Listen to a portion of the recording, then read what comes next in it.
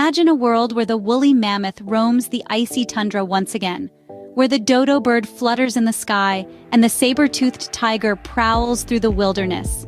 By 2030, this could be our reality, a world where extinction isn't forever. Through the power of science, specifically genetics, we are on the brink of resurrecting these long-gone species.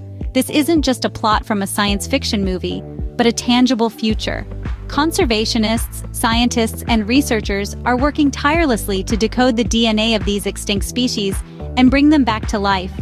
A world where the past and the present intermingle, where extinct creatures walk among us, could be just around the corner. Stay tuned for more updates on this thrilling journey into the past.